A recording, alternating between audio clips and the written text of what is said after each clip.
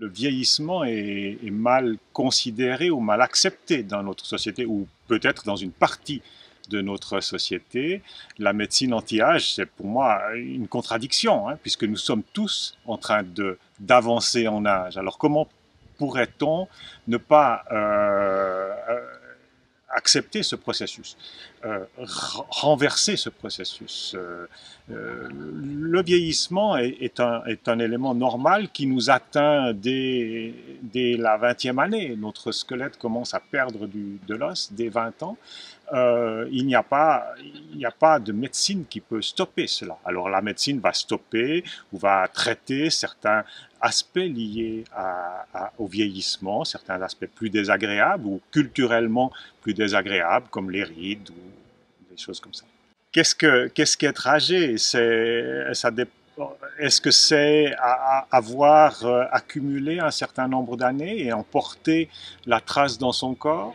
Ou est-ce que c'est euh, psychologiquement, psychiquement, euh, avoir ce sentiment d'avoir euh, fini sa vie, vécu assez, vécu trop pour certains. Euh, c'est assez difficile à dire. je pense qu'il faut éviter de catégoriser les gens.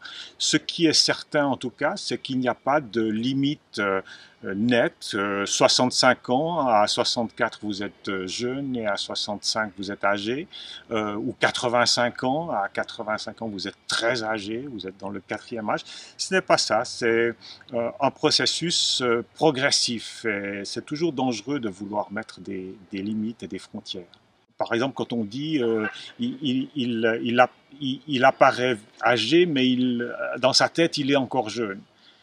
Pourquoi, pourquoi est-ce que l'idéal, c'est de rester jeune dans sa tête? On peut être, euh, avoir son âge dans sa tête, mais l'assumer. Euh, il y a dans d'autres cultures ou dans la, les temps anciens de notre culture, une espèce de, valorisation de la personne âgée comme celui qui est sage. À ce moment-là, celui-là est âgé dans sa tête, mais on lui reconnaît une certaine sagesse, une expérience de vie, une, euh, euh, la, la, vieillesse et l'avancée en âge euh, ne sont pas négociables, ne sont pas monnayables. La personne âgée, peut-être euh, que dans notre société, on la, tient pour euh, moins intéressante parce qu'elle est moins productive en termes de en termes habituels de productivité. Elle, elle enrichit moins l'échange économique, mais il y a d'autres richesses alors où il faudrait élargir la notion de rentabilité. Euh, qu'est-ce, que, qui enrichit le corps social? Est-ce que c'est uniquement la production de biens matériels, la production de, de financière, euh, ou il y a d'autres productivités? Et si je reviens à ces culture autre que la nôtre, euh, pendant très longtemps, euh, ou, encore maintenant, on pense que le vieillard a quelque chose à apporter en termes de sagesse, en termes d'expérience, en termes de, clés de lecture de, l'existence. Alors bien sûr, dans un monde où le, développement technologique est, est tellement rapide, euh, les aînés ne vont pas nous apprendre à utiliser un smartphone, ils pourraient peut-être nous apprendre à ne pas utiliser un, smartphone, à, pouvoir vivre sans.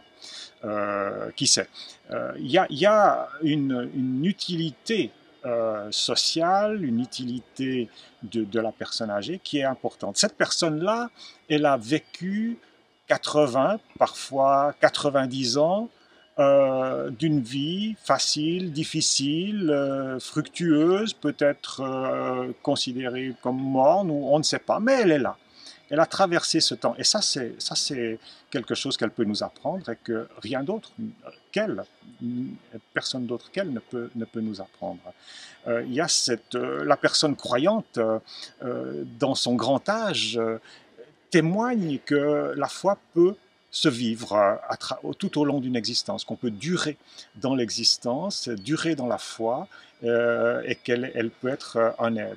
La personne qui, le priant euh, dans l'Église, la personne âgée est un priant.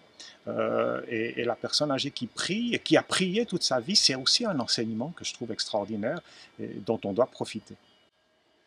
Peut-être il y a toute, toute, situation de vie, toute étape de la vie euh, euh, implique des, besoins ou des, une modulation de, notre rapport à la spiritualité, à Dieu, à, notre histoire. Euh, et, la, personne, la vieillesse n'échappe pas à cela dans la vieillesse, qu'est-ce qu'on a? On a une vie qui s'est déroulée et qui touche à son terme. Euh, les, des notions comme euh, le sens donné à une existence, euh, des notions comme la présence de Dieu qui accompagne tout au long d'une existence, prennent des colorations différentes au moment de la vieillesse que dans la jeunesse.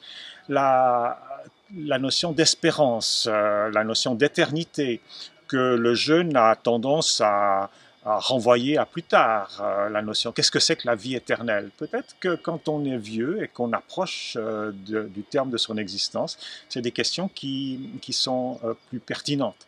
On a aussi des enquêtes ont montré que le sentiment de proximité, le sentiment d'être proche de Dieu, euh, le sentiment d'intimité avec lui était quelque chose que valorisaient beaucoup euh, les, personnes âgées. Donc oui, il y a peut-être une, spécificité. Euh, ce ne veut pas dire que les personnes âgées sont des spirituels et, pas les autres. Il y a, la spiritualité fait partie de notre vie et elle se module aussi en fonction de nos âges. Le vieillissement va, avec quelques inconvénients.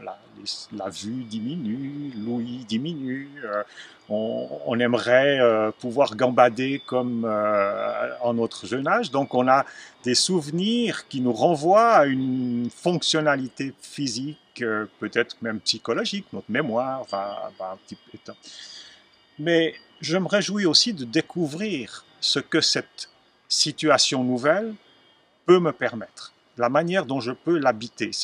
Quand on déménage, on est, on est, on regrette l'ancien, l'ancien logement, et en même temps, il y a une excitation de voir euh, ce que l'on va pouvoir faire dans le nouveau logement. Ben, c'est peut-être un peu ça, euh, le changement d'âge.